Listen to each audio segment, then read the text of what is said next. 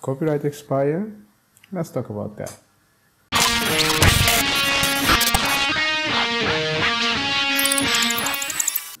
Hi, my name is Martis. I make daily video about business, legal, and intellectual property. What is intellectual property?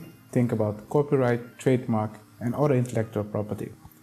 In this video, we're going to talk about copyright and copyright expire. I want to tell you what you need to watch out for and what are the consequences and how you can use in the copyright when it expire in your advantage. So let's begin. It is important to know that when you have copyright or other intellectual property, you have the ABC formula. I explained that in another video. You can press the link and you can watch the video and then come back.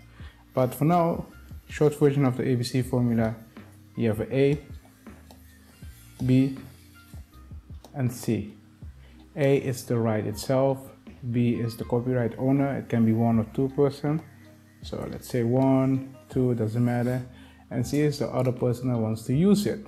So the thing is, when a copyright expire, that means this right isn't anymore. What's the benefit of this? The benefit is there's no copyright owner. You can use it whatever you want. But the question is when does it expire? Because if there is no expiration date or anything, you are not allowed to use it because B is the copyright holder. And if you are C, you're not allowed to use it unless you have permission. You understand that? So it's important to know when something expires and when it is in a public domain. So let's look at the date when something expires and how it works and how you can use that in your advantage. So just to be clear, when a copyright expires, it means it doesn't exist anymore. You don't have a copyright holder, and the copyright becomes come into public domain. So the thing is, every country that's connected to um, WIPO has a copyright expiration. The thing is, you need to look in your country to the law when does that happen? When is the expiration? Some country they have some similar rules, some country don't. So it's important to know when that happened. Thing is, we're going to use the US as an example, and you can see when it happens and what kind of rules they have. So let's go to the so let's go to the um, to the document. I will put the document in the description, and here you see how long does copyright last. That's a long uh, test at how so here you see how long does copyright last. In general, for works created on or after January 1st, 1978, the terms of copyright is the life of the author plus 70 years after the author's death. Yeah.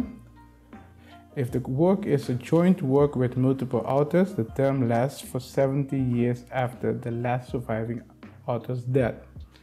For works made for hire and anonymous pseudonymous works, the duration of copyright is 95 years from publication or 120 years from creation, whichever is shorter.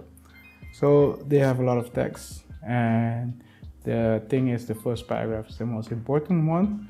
So let's analyze it. Here they're saying if the author is dead, 70 years after that, then you don't have copyright, then it's expired.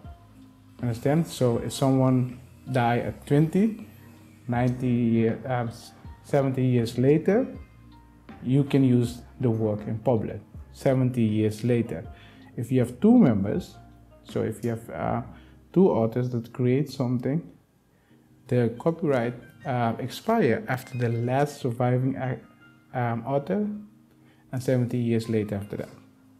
You understand it? So that's when something expires. So if you look at this, again, you see if you have one, 70. If you have two, the last surviving um, author, and 70 years later, then you don't have copyright.